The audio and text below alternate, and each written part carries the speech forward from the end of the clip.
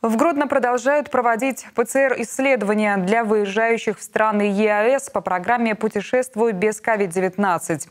Услуга появилась в Гродно в начале июля. Специалисты отмечают ее востребованность как в нашем городе, так и в регионе в целом, так как сегодня невозможно попасть в ряд стран ЕАЭС, не имея в мобильном приложении «Путешествую без COVID-19» отрицательный результат ПЦР-теста.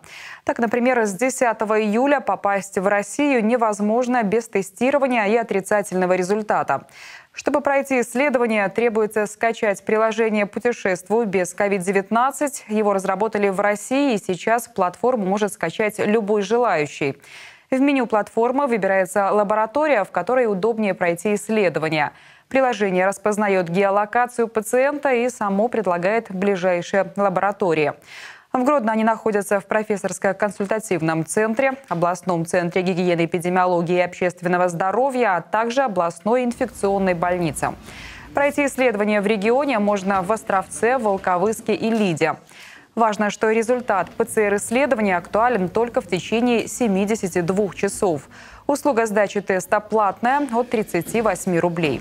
Учитывая, что э, количество транспортного сообщения с каждым днем с Российской Федерацией, с Казахстаном и с Арменией увеличивается, э, то эта услуга крайне востребована. И мы уже выполнили более тысячи тестов.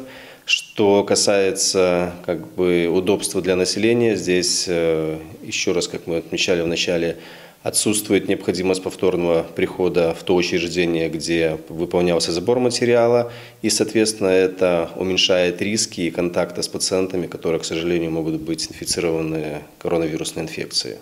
К слову, в Гродно уже 17,4% жителей уже прошли иммунизацию первым компонентом от коронавирусной инфекции. Вторым – 13,65%. Напомним, что привиться от COVID-19 можно в любой поликлинике города, а также в торговых центрах Тринити, Олд-Сити и Корона.